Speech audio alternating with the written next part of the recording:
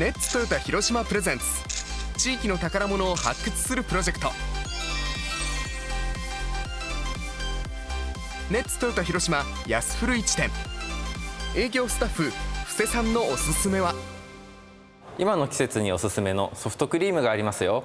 わあ食べたいっす。食べたいっす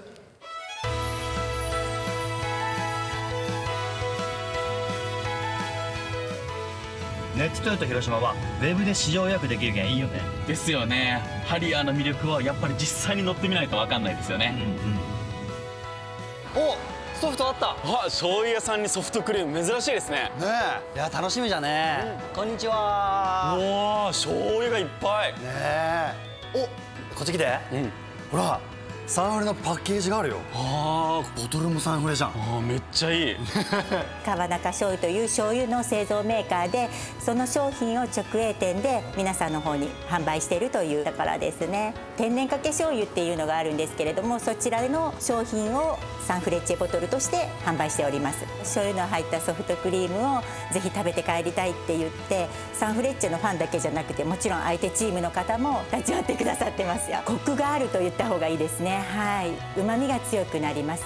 いやーこの暑い時期にはさ、ぴったりよねソフトクリーム。最高ですね。食べましょう食べましょう。よっしゃ。うん。すっごいさっぱりいやーこれ癖になるね。うん。美味しい。夏場ソフトクリームがどうしてもすぐ溶けてしまうっていうこともあってスタンドパックにソフトクリームを入れてあんを入れたりベリーを入れたりして楽しんでいただけるようにもみもみして混ぜ合わせて柔らかくしてストローで飲んでもらう。この醤油ソフトと甘すぎないあんことこのつぶつぶ感が美味しいです。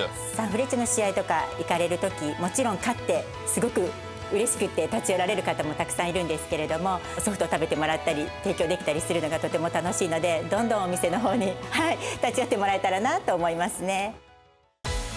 ネッツトヨタ広島で宝物をゲットサンフレッチェ広島の観戦ペアチケットや商品引換券など43人に豪華プレゼントさらに8月19日20日ネッツトヨタ広島福山店でアロマスプレー製作体験やウィルの試乗会などを行います。イベントの詳細や応募方法はネッツトヨタ広島のホームページをご覧ください。